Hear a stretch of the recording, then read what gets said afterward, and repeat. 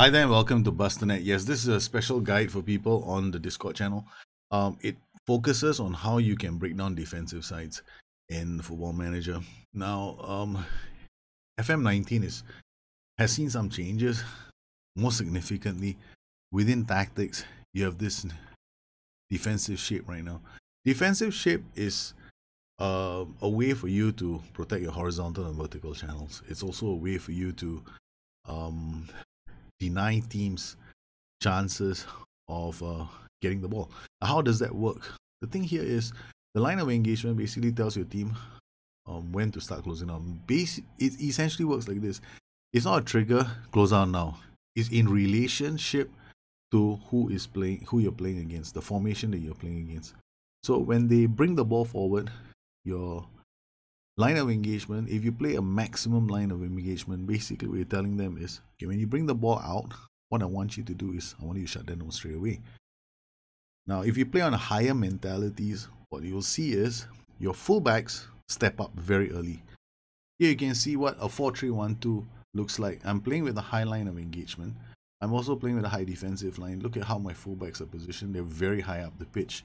Um, this is to exert as much pressure as I can on the opposition so that they are not allowed to bring the ball out of their own box. I mean, granted, we scored a goal with, with our first move of the day. But when you play with the high line of engagement, you're basically telling the uh, you're telling your boys to start closing down immediately uh, when the ball is played into your half. Now, if your boys lose the ball here, or if they start to build up play, your boys will tend to drop back and you know drop back and form a tight defense, which is exactly what we're supposed to be seeing in the game. So if you want a your fullbacks to close down as high up the pitch as possible, then you've got to look at your line of engagement coupled with your mentality. Now, if your mentality was low and you played a high line of engagement, chances are you're probably doing it somewhere around here. I'm playing with an aggressive mentality, so it's somewhere around here.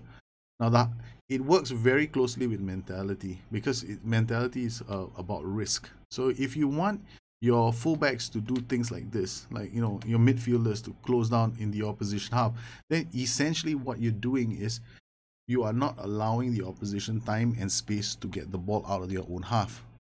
How do you do this? Okay, a lot of teams are going to start playing defensively once you start reaching a certain level. Here against the Brighton, we are playing against a 4-1-4-1 with the DM. It's not but it's not something that the 4-3-1-2 really likes. So with the DM, you can see that it's going to be really tough. What we did instead was we knew that we were going to be faced with a team that is going to be extremely defensive. Now, this is the caveat. If you have a good side, you can afford to do this. If you have a really poor side, then you got to think about hitting teams on the break and keeping a tight defensive shape. Here, because Liverpool have very fast players, here we got Robertson. Uh, Robertson is a, I think he's got acceleration of 17 or 16, 15. And on the other side, we got Alexander Arnold, who's 16, anticipation is 15. So these boys are very strong mentals. When you have very strong mentals, you can afford and strong physicals, you can afford to play a high line. So we're playing a high defensive line, which tells our boys to be further up the pitch. So now we are playing against a team that is uh, very defensive. So what we are doing is we are playing high up the pitch, not letting them have any uh, chances to bring the ball up. We're also playing with aggressive mentality so that these guys are positioned so high up the pitch. The moment their wingers get the ball, they're already under pressure. So the the wingers are always defending. Now this is one way to break a defensive side down because here what I'm doing is I'm using a lot of uh, aggressive mentalities. There's a big risk in doing this because if you play with a weaker side and you do something like this, this channel is very big, which means that you're vulnerable to two things. One, the ball over the top naturally, and the second thing is, um, you know, if your if your three midfielders can't win the ball, can't control possession, then you'll lose the ball. So, what I've done in this game is here I like to use roles and duties, and I like to use players off the ball.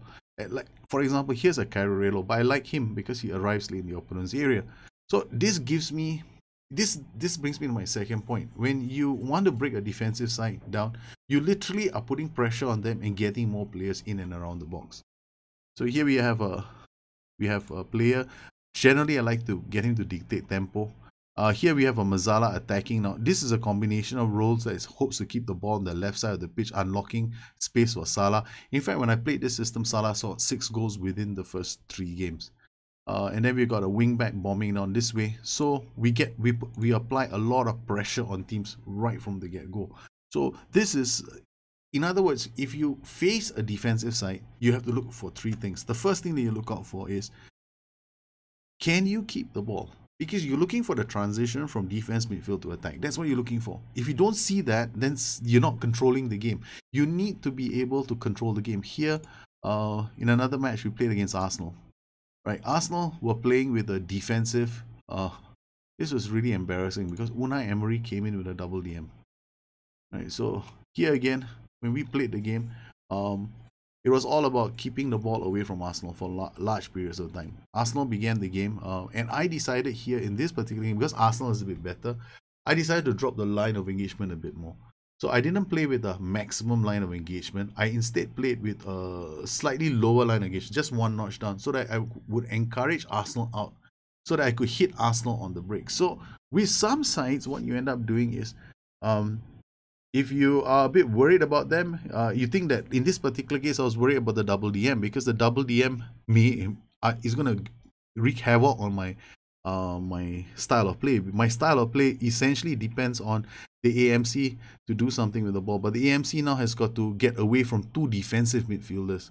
So instead of uh, so instead of camping in their half, I opted to draw them out slightly by changing only the line of engagement because the line of engagement uh, tells your team when to let them out. I mean, we we did concede a goal early, but we managed to come back and put three past them. So it was a it was a pretty good performance from us. Uh, again, you can see how we play with the attacking wing backs, trying to bring the ball up. We don't have enough bodies inside the box, so these guys these guys have to just drop in the crosses uh, to some of our players. Another way of playing it would have been for me not to um, encourage play down the flanks. When I encourage play down the flanks, when I don't want to encourage play down the flanks, what I normally do is uh, I play on a very narrow width. So um, overlap left and overlap right was used in this 4-3-1-2 just to influence how high up the pitch they would be. Now, another way of playing it would have been uh, to here again, we played uh, Benfica. Benfica also were playing with a defensive formation. Uh, in, and here we played with a different um, different formation ourselves because I but I think that Liverpool are more suited to this system instead. So here again, we play with an we play with a wing back on attack, inside forward on uh, attack later in the half, and then we played with a player who likes to arrive in the opposition box. We played a poacher, uh, Mezzala on attack, and then inside forward. So uh, once more, the whole goal here is to hem them in. Don't allow them to bring the ball out. So each, each time they bring the ball out, we have players closing down. If they win the ball, um, they usually there's only one player. We are able to bring the ball up quickly uh, and then uh, look for opportunities. Now, because you're playing on a very aggressive mentality, your boys are always going to look forward and try to get the ball into the box. So if you're playing against a defensive side, you have two options. One, you can be a bit more patient. You lower the mentality, but you keep your line engagement um, you slow down your tempo, you work the ball around looking for opportunities, but then there's a stack defense, right? So it's going to be a lot harder. Um, then you're depending on personal skill, player skill to break down sides, or in my particular case, I call this brute force, which is uh, you play on a higher attacking mentality. Uh, you play with a few more attacking duties to get them into uh, the third, and uh, you do your best to break them down. So uh, here, uh, it's an all-encompassing game. So uh, what you want to do when you're playing against defensive sides is simply this. Okay, look at your tactic. Step one, identify your players in the system. Now, first thing, whatever tactic, this, this it doesn't matter what system you're using. The first thing you got to see is if you're winning all your games at home and then when you go away from home you find teams are very defensive you need to look at your own tactics to ask yourself whether there is an option b can you um, get some of your players further up the pitch how do you know when you when can you do this? If you're dominating possession in the game, definitely you can do this. You have you can take some risks. So if you watch my movement into channels video where I talk about uh, how to defend your channels, it's very simple. Based on that video, all you got to remember is this: these are your channels. So if you want your boys to protect the this horizontal channel, you bring this down. if you want your boys to give up the flanks and just uh, make sure that the spaces in between these players are narrow, then play on a narrow width. So um, remember how you want to defend, where you're going to win the ball. Now, if you're going to play aggressively, which is the brute force system, then you need players for that. So you, you basically have a better team than the opposition. But if you have a shitty team and you have the worst possible team in the land, then you don't want brute force. Brute force is too dangerous. So what I normally do with shitty teams is I, I drop my line of engagement and then I change my style of passing. I might go direct, risky. I might not overlap with two because it's way too risky. I might just overlap with one if I if I really want to try and score. This depends on whether or not the team is better than me. If the team, uh, when you look at the Stalybridge Diaries, I play very differently. Uh, with Stalybridge, I, I it's literally the same system, but you don't see me having so many attack duties in my uh, in my team. It's more about holding your shape, being defensively organized, and hitting teams on the break. So uh, in this particular case, it's all about managing this side and then hitting them on the break. Now, all you got to do with a poorer team is maybe regroup and then hit them on the counter. And once again, the question is when you get the ball to the opposite end of the pitch, do you have enough players getting into the box? Here, in this system, we have like a, a Mezzala on attack. Maybe if I was playing with Stalybridge, this guy would become a fullback on support. This guy could become a complete wingback or a wingback on attack. But this becomes a very open, uh, very risky uh, setup for us. So I'll probably go Mezzala on support with a with a poorer side, and then this could be a lot more stable in the sense that I'm not overcommitting with this Mezzala. So this Mezzala, because we have an overlap left on the left flank, this guy is pretty high up the pitch. So I'm not overcommitting with this Mezzala. I could alternatively move the Mezzala to this side of the pitch and then try and build my play up here and then hope that the Mezzala has got uh, switch balls to the other flank, which is uh, something I want to avoid. Uh, so you could also play on lower mentalities to keep the ball because when you're a weaker team and you face teams that put a lot of pressure on you, then what you're trying to do is you your your priority has to be to be able to work the ball out. Because if they put pressure on you and you just move the ball, then you're giving them back the ball and you're back to square one. So with with weaker teams, generally you want to look at your team instructions like regroup, then you want to look at narrowing the gap between um, the horizontal channels. You also want to identify whether or not you should be defending narrow or wide. Personally speaking, there are very, very few systems in FM that need to defend wide. If you want to defend wide, then you up your mentality slightly uh, or you play with a slightly higher line of engagement. But generally speaking, I avoid, if I'm a weaker team, I have to make a you have to make a choice. Do you give up the flanks or do you give up the middle? But when you're a stronger team, you don't have to worry about the choice because you can have, you can have your cake and eat it too. So if you're playing with a strong team, it's just a matter of throwing more attack duties. If you play with a weaker team, it's about hit, judiciously thinking about how you're gonna uh, it's it's a lot more challenging when you're playing with a weaker team. Because with a weaker team you got to think about movement you got to think about the players who are moving into the channels you got to think about how you're going to control the ball you got to look at players you, you got to be very very selective of how how you pick uh, your players. This is the reason why i like fm19 in FM 18 and FM 17, you could brute force your way through anything, you know. The, the AI just couldn't play defensively. Now, FM 19, the AI can finally play defensively. I And I understand the challenge that most people are having. A lot of people are finding this game very, very difficult because they they win a couple of matches and then once the AI re rates them, eh, starts playing defensively against them, they start struggling. But that's that's the best time. You see, when the AI starts playing defensively against you, and if you can hold on to possession, what you do is you start thinking about how you can throw more bodies into attack or come up with a system that allows gives you many many options. Now one of the best systems in the game is actually this the 4123 the 4123 is easily one of the most dynamic resilient systems in the game. It's like a 4312 except it's got wide options. Uh, it can penetrate through the middle with this player which for a weaker side this would mean that this guy has to be a bit more defensively orientated this this system is very different. This is my Liverpool 4123, which rips through teams because we have a very simple setup. We have a Mezzala punching through the middle. He works very closely with the inside forward. We got a wing back coming down this way, giving us uh, flank attacks. And then if these players keep the ball well enough, then we got the uh, Salah either coming in to score goals or deliver crosses into the box, which are fed by other players. And uh, when we played against Benfica, Benfica were destroyed by our attack. I mean, we, we played reasonably well against Benfica. I was very happy with the way we played against Benfica. And uh, even though Benfica, we allowed Benfica out of the box a couple of times because we lowered our line of engagement. But there was very little that Benfica could do to uh, match the way we were playing. Now, don't forget that in your corner routines and your throw-in routines, you can also set your systems up to close down long shots. Uh, it's, a, it's a matter of uh, choosing who you want at the edge of area and who you want going back.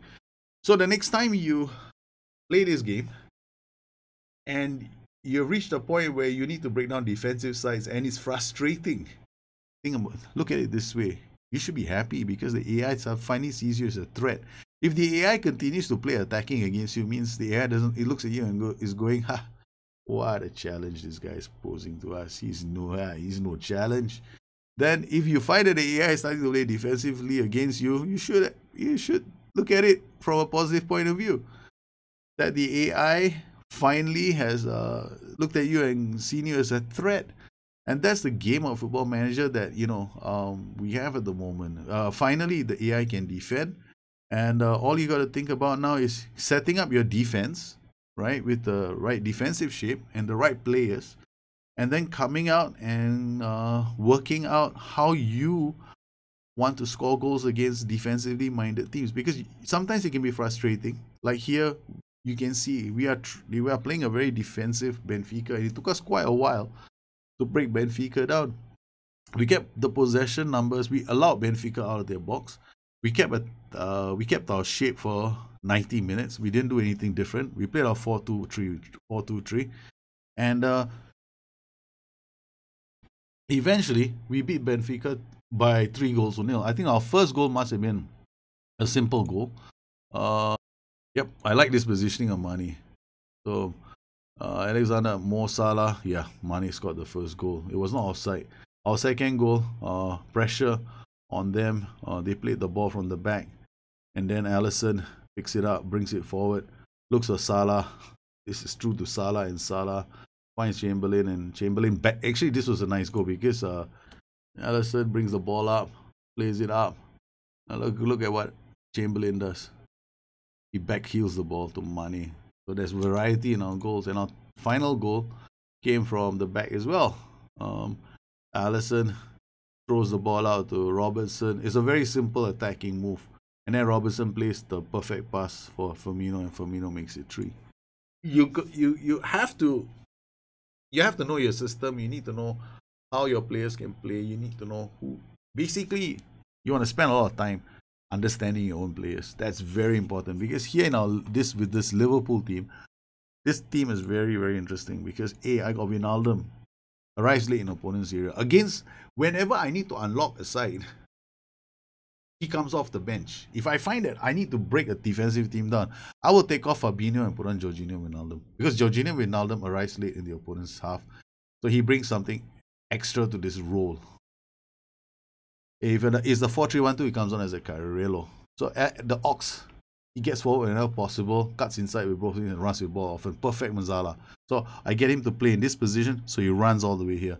Mane, he cuts inside from both wings, runs with ball often, gets into opposition, moves into the channel. So he will occupy the defenders.